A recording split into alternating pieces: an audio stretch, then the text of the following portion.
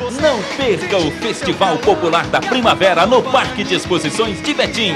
Sexta, dia 17, Netinho e Cabra da Peste. Sábado, dia 18, Fernando Barreto, Antônio Carlos e Renato e os Brancões. E Mulher Não Paga até as 22 horas. Domingo, dia 19, Paulo Ricardo e Jean Giovanni. Festival Popular da Primavera. Informações 441 1110. Realização Cereja Alpinista.